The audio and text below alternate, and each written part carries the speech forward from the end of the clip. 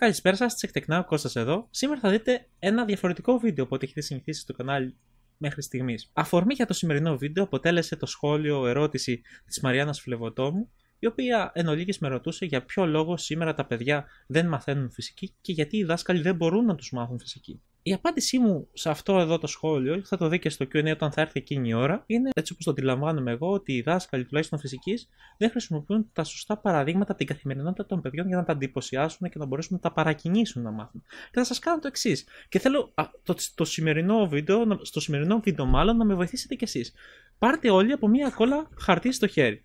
Σήμερα θα σας διδάξω και θα σας πω, μάλλον θα σας διδάξω, ακούγεται τόσο χάλια. Θα σας δείξω μάλλον πώς να καταλάβετε τι είναι δύναμη. Μία κόλλα χαρτί, πάρετε την στο χέρι. Ακουμπήστε την εδώ. Έτσι, όπως έχετε το χαρτί, σφίξτε τη χούφτα σας και τσαλακώστε το χαρτί. Ωραία. Έτσι όπως κρατάτε το χαρτί στο χέρι σας. Τι έπαθε το χαρτί; Τσαλακώθηκε. Άρα το αποτέλεσμα είναι ότι τσαλακώθηκε. Γιατί τσαλακώθηκε το χαρτί, ή αλλιώς παραμορφώθηκε. Γιατί παραμορφώθηκε λοιπόν το χαρτί, Γιατί εγώ κλείνοντας τα δάχτυλά μου άσκησα δύναμη στο χαρτί και το παραμόρφωσα. Το τσαλάκωσα.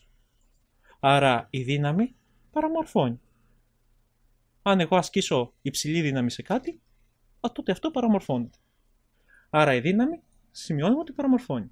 Ωραία. Πάμε για το δεύτερο.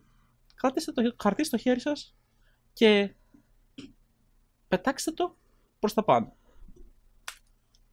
Τι έπαθε το χαρτί; Ακίνητο δεν ήταν; Τι έκανα στο χαρτί; Το σήκωσα προς τα πάνω. Του όθεσα μία δύναμη, του άσκησα μία δύναμη και το πέταξα προς τα πάνω.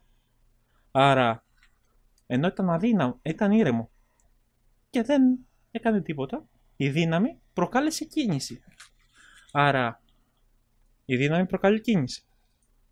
Με αυτό εδώ το όμορφο πείραμα, μόλις καταλάβατε, θέλω να πιστεύω, τι είναι δύναμη.